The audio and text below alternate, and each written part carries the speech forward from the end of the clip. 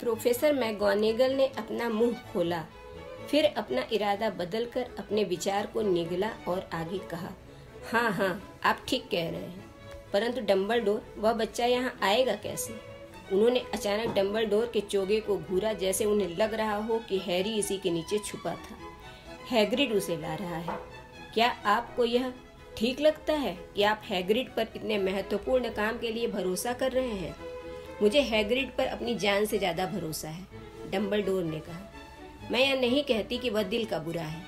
Professor McGonigal ने मन मार कर कहा, परंतु आपको यह तो मानना ही पड़ेगा कि वह थोड़ा लापरवाह है। उसकी यह आदत है, यह कैसी आवाज़ है? एक हल्की गड़गड़ की आवाज़ ने उनके चारों तरफ़ फैली खामोशी तोड़ी। आवाज़ धीरे धीरे तेज होती गई। उन्होंने सड़क पर ऊपर और नीचे की तरफ़ हेडलाइट की रोशनी की तलाश की।